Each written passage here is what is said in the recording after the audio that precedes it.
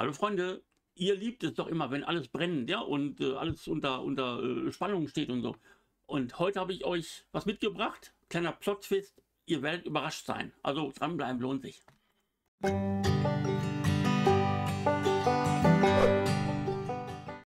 So, nämlich aus gegebenem Anlass.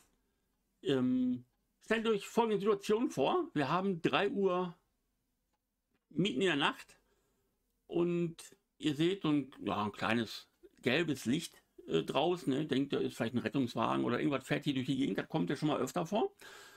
Und nach 30 Sekunden ist dieses gelbe Licht immer noch da. Ich denke, oh, ist der Nachbar vielleicht betroffen? Geh mal gucken. Ja, dann mache ich die Tür auf und dann habe ich Folgendes gesehen. Wie sich herausstellte, war das kein Licht von einem Fahrzeug, sondern es brennt. Es brennt wirklich lichterloh und zwar ziemlich genau hm, fünf Meter von meiner Haustür entfernt. Und ja, wo die Leute hier, seht hier unten rechts, da sind zwei äh, noch geflüchtet.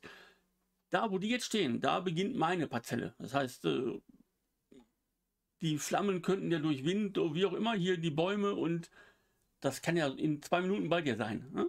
Und ja, spannende Sache. Wie reagiert man jetzt? Ne? Ich meine, Feuerwehr rufen, kein, kein Thema, sofort gemacht. Ja, ansonsten weißt du ja nicht, was passiert. Wohin geht das Feuer? Was ist überhaupt los? Ja, da hilft nur eins: Portemonnaie einstecken, die Gasflasche hier mit rausnehmen und äh, zusehen, dass man das weitersucht. Ja? Und dann hoffen, dass die Feuerwehr rechtzeitig kommt, bevor alles abgebrannt ist. Ja, so ist es äh, hier in der Nacht, irgendwie, was ich, letzte Tage irgendwo passiert. Ähm, stellt euch das mal vor, ja, fünf Meter von eurer Tür entfernt, es brennt, äh, es brennt wie Hulle, ja, ja es, es ist ja... Da kriegt aber da bist du wach. das kann ich euch sagen. Naja, äh, Fazit. Ähm, ja, unterm Strich ist nichts passiert. Kein Personenschaden, sonst wie. Nur diese eine Parzelle wird die abgebrannt, aber auch die bis auf die Grundmauern. Ja, das ist äh, Hammer. Und äh, aber weil ihr wegen Schach hier seid, ja, und ihr die ganze Zeit nur auf diese Stellung geguckt habt, möchte ich euch natürlich nur eben schnell die, die Lösung dieser Stellung zeigen.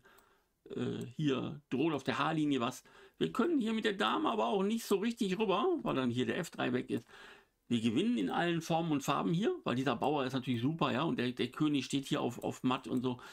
Ähm, Beste Lösung wäre hier Läufer H3 äh, mit der Idee, den Turm anzugreifen und den Läufer dann nach G2 zu stellen. Und jetzt kann ich zum Beispiel Turm H1 gar nicht mehr verhindern, selbst wenn die Dame sich opfert, dann ist halt dem nächsten matt. So, nur damit wir ein bisschen was im Schach gemacht haben. Ne? Also, äh, das wollte ich, dieses, diesen kleinen Plotfist wollte ich euch nochmal eben gönnen. In dem Sinne, bis zum nächsten Mal.